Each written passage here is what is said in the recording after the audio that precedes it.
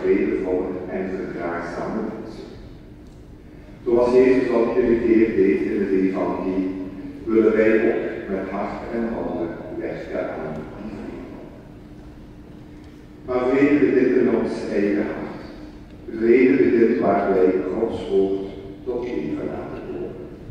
Omdat wij hier in de kort schieten, vragen wij dan ook aan het begin van deze herdenkingsviering om vergiffenis en ontferming.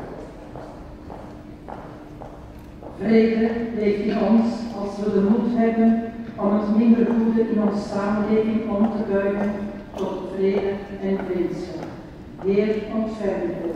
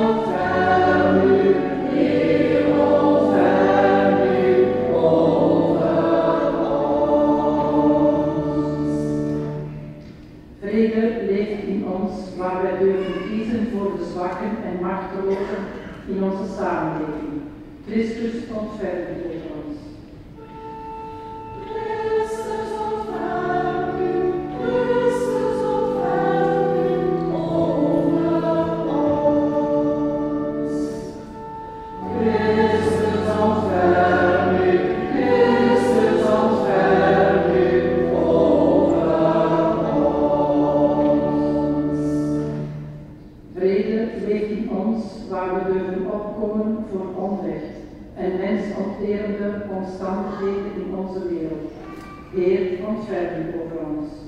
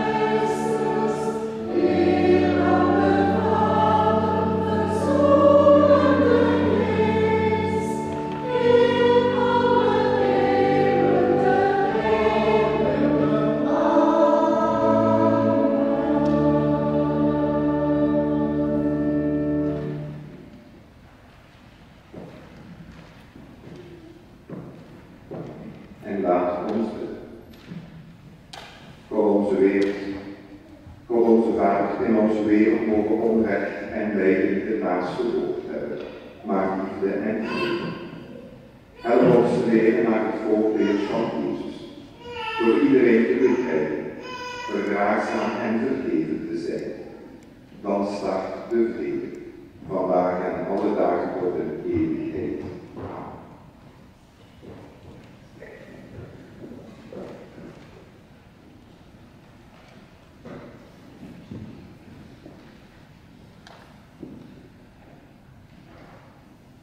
Lezing uit de profeet Jezaja. Er komt een tijd dat de berg van de Heer zal uitsteken boven alle heuvels, en dat de tempel van God op die berg rotsvast zal staan. Alle stammen en volkeren zullen op weg gaan en toestromen naar de heilige stad en zeggen, Kom, laat ons optrekken naar de berg van de Heer, naar de tempel van God. Hij zal ons de weg wijzen die we moeten gaan, en wij zullen zijn paden bewandelen. Want in Jeruzalem geeft de Heer onderricht. Daar zal hij recht spreken over alle volkeren en de geschillen tussen stammen oplossen. Dan smeden zij hun zwaarden om tot bloedijzers en hun speren tot zitjes. Geen volk zal nog het zwaard trekken tegen een ander, en niemand zal hen nog leren oorlog voeren. Tot zover deze lezing. Thank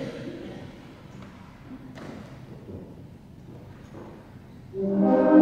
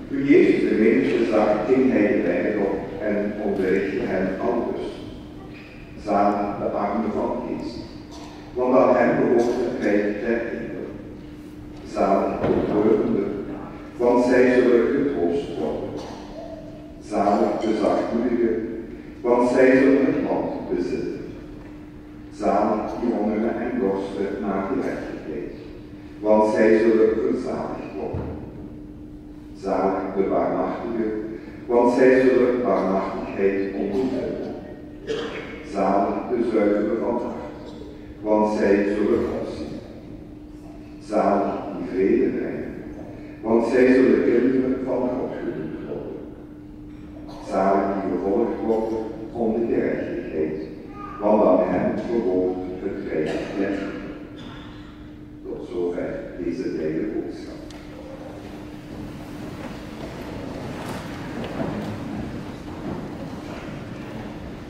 Beste mensen, de eerste lezing van Jesaja van vandaag sluit wonderwel aan bij de gedachten en de gevoelens die ons vandaag hier in de kerk hebben samengebracht.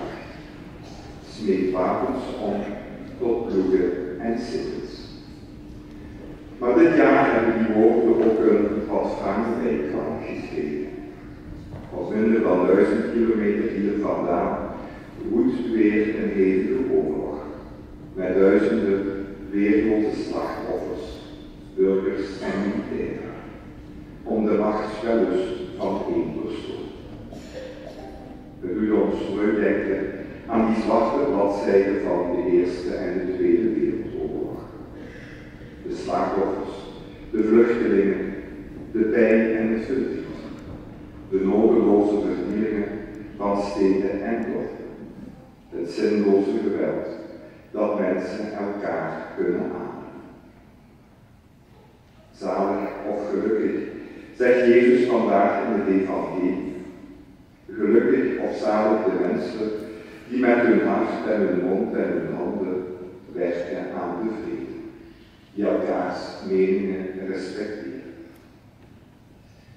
Vandaag in deze viering herdenken we inderdaad de vele miljoenen soldaten en burgers, mannen, vrouwen en kinderen, die het leven lieten in beide wereldoorlogen. Het is belangrijk en goed dat wij dat op een dag als vandaag nog altijd doen. Wij willen blijven stilstaan en tijd nemen om al deze oorlogsslachtoffers respectvol te gedenken. Mede door hun dood is er vrede en vrijheid gekomen in onze streek en leven wij in een vrij land. Het is nodig dat onze generaties van mensen, ouderen, maar vooral ook jongeren, die nooit een oorlog aan de lijve hebben ondervonden, beseffen dat het niet zo vanzelfsprekend is te leven in een vrij en vredevol land. En die vrijheid en vrede te zien als een voorrecht, waar vele mensen vandaag in onze wereld en in het bijzonder in Oekraïne nog altijd niet van kunnen genieten. Oorlog zou geen woord meer mogen zijn van onze huidige moderne wereld. Nochtans woeden er vandaag nog veel oorlogen en gewapende conflicten in onze wereld. Oorlogen die honderdduizenden slachtoffers maken en miljoenen vluchtelingen, die samenlevingen ontwrichten en economieën in elkaar doen storten. Een samenleving met wapens is dan ook niet de juiste weg. Smeet wapens om tot zei profeet Jezaja meer dan 3000 jaar geleden. De prijs voor vrede en vrijheid is een eeuwigdurende verantwoordelijkheid en een waakzaamheid voor ons allemaal. Vrede zal nooit een vaststaand feit zijn, maar een heel wankel en broos gegeven, waar wij allen zorg voor moeten dragen. Uit respect voor die miljoenen slachtoffers die wij vandaag gedenken. Maar ook uit respect voor onze wereld en onze medemensen waar we mee samenleven. Herdenken, goede vrienden, is dan ook bouwen aan de toekomst. En moet dan ook meer zijn dan een minuut stilte en een groet aan een van die vele oorlogsmonumenten in onze steden en dorpen. wapenstilstand, meer dan 100 jaar na het einde van de Eerste Wereldoorlog, nodigt ons dan opnieuw uit om stil te worden bij de pijn en de ellende die de oorlog nu in ons land heeft veroorzaakt. Maar roept ons nog meer dan ooit op om ook vandaag daadwerkelijk die vrede in stand te houden. Laten wij hier dan ook voor bidden in deze herdenkingsviering. Amen. Willen we dit dan ook de al nu een beetje door het uitspreken van onze geloofsbelijdenis in die God van vrede en liefde. Willen dat samen. Ik geloof in God, de Almachtige Vader, schepper van hemel en aarde, en in Jezus Christus, zijn enige Zoon, onze Heer, die ontvangen is van de Heilige Geest en die de leven heeft onder Pontius Pilatus, gekruisigd is gestorven en begraven, die neergedaald is ter hel, de derde dag verrezen uit de dood, die opgevaren is te nemen, en zit aan de rechterhand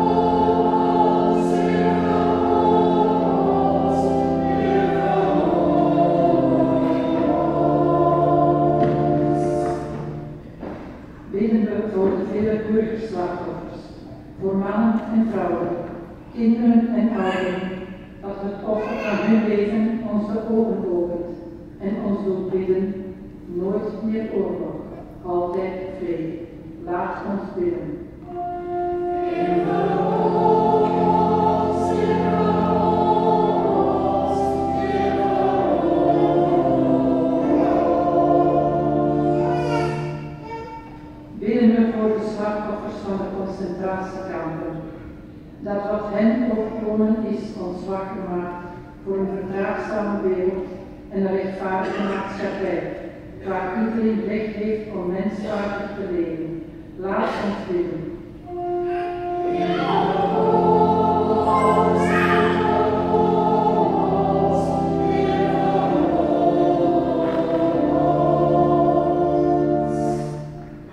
Bidden we voor alle mensen die nu nog steeds ten ondergaan in de oorlogsgebieden van vandaag. Voor hen die op de vlucht zijn voor geweld en oorlogsdreiging. Voor hen die honger. Dat ze een toekomst krijgen en een vredevol bestaan. Laat ons. Bidden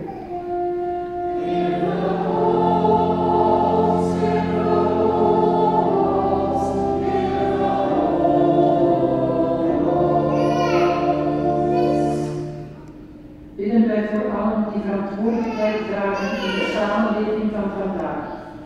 Dat ze ons voorgaan op wegen van verdraagzaamheid.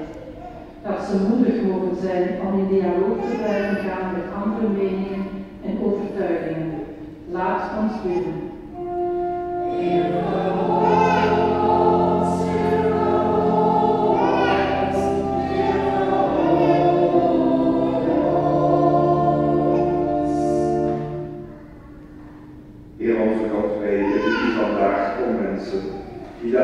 In hun hart dragen. Laat ons samen verantwoordelijk zijn voor de jaren die komen. Mogen de tijd worden zonder oorlog of geweld. Laat de vrede geen papieren vrede zijn, maar een vrede waar we allen daadwerkelijk aan willen werken. Vandaag en morgen en alle dagen van ons leven.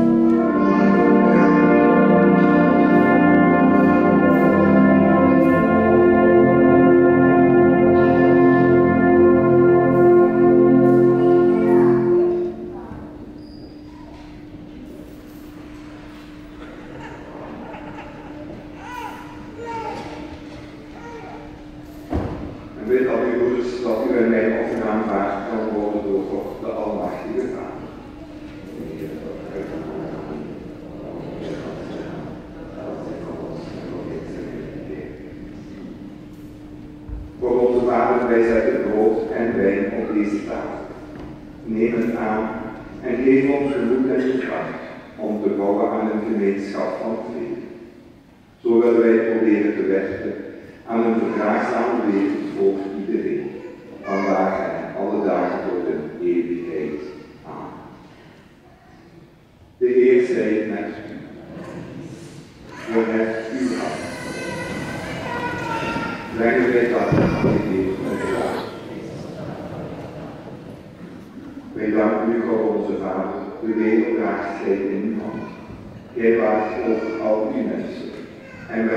samen in deze gemeenschap om uw woord te horen.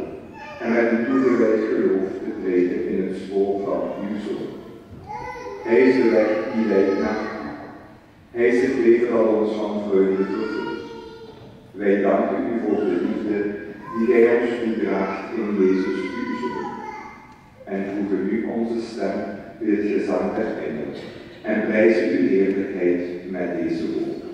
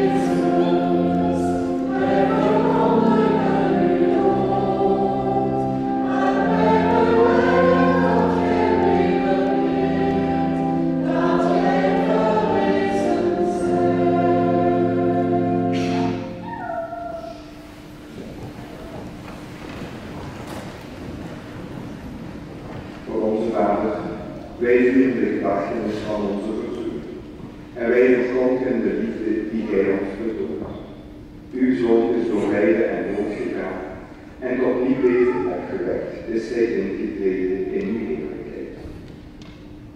Waarmachtige God, laat de geest van Jezus in ons wonen, en vervul ons met uw liefde. Sterk ons door de gave van zijn lichaam en bloed en maak nieuwe mensen van ons, dat wij op Jezus mogen gelijken. Bescherm onze paus Franciscus en onze bisschop Patrick. Leer alle gelovigen van uw kerk de tekenen van deze tijd verstaan. Maak hen de beleving van uw evangelie.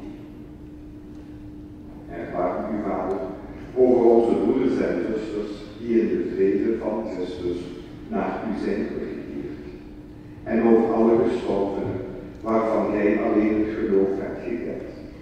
Breng hen tot het licht van de verrijzenis. In deze viering willen we in het bijzonder denken aan alle gesneuvelde oudstrijders en overleden burgers van beide wereldoorlogen. Ook bidden we voor de koninklijke Bavaris in Sicilia en in het bijzonder de lieden. We bidden ook voor Mathieu Lemmens, Janneke Lemmens, Marta Rico, Agnès Moos, Jean Vrijns en Lilian Vrijns. Voor Bertie Leven, Martijn Dame, Christine Vrijns en kinderen.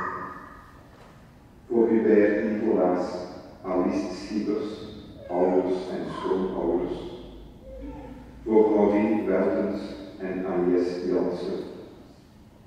Benjamis voor Freddy Dijs en Tini Vrijns.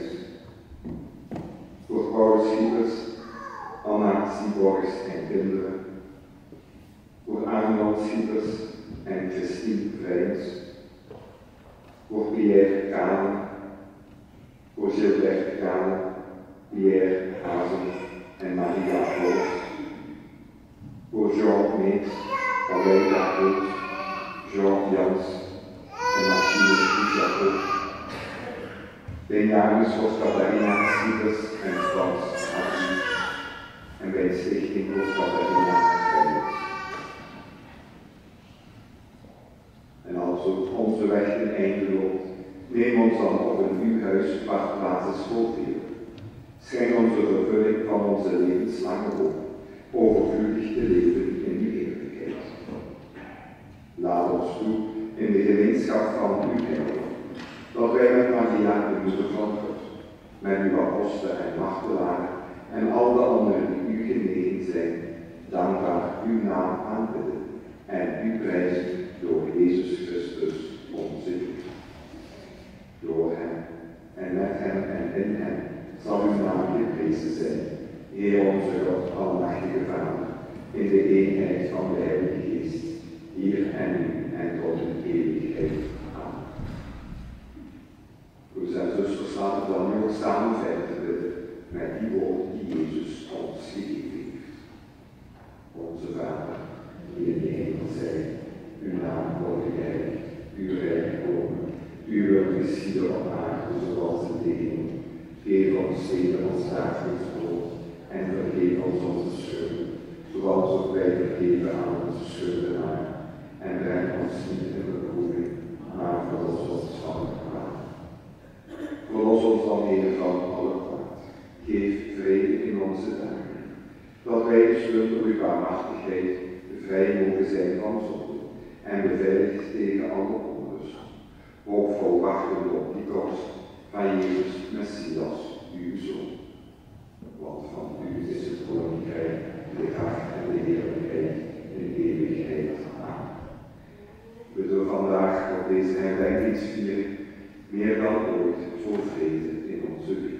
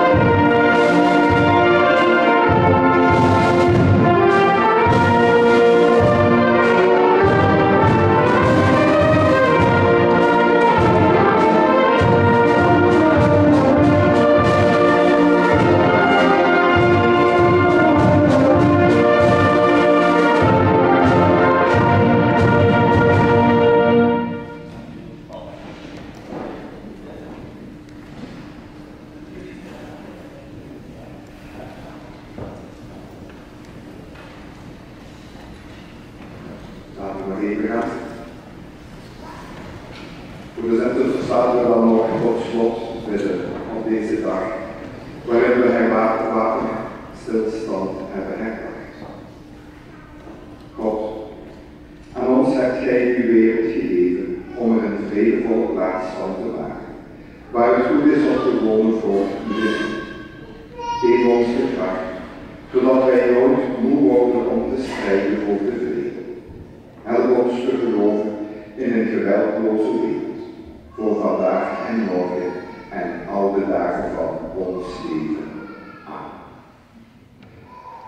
Broeders en zusters, we waren hier inderdaad samen om die, dat einde van die wereldoorlog te gedenken. Maar vooral die vele slachtoffers die hun leven hebben gegeven voor onze vrijheid en vrede. Willen wij op onze manier ook dragers zijn van die vrede, wereldwijd, maar vooral ook in eigen hart. Willen wij bidden dat Gods vrede over ons mag worden. En mag die vrede ons dan ook allen vervullen. De Heer zij met u. Zegen u dan de Almachtige God, de Vader, de Zoon en de Heilige Geest. En gaat u allen heen in vrede. Maar eerst willen we nog luisteren naar het slotstuk, ons gebracht door de Koninklijke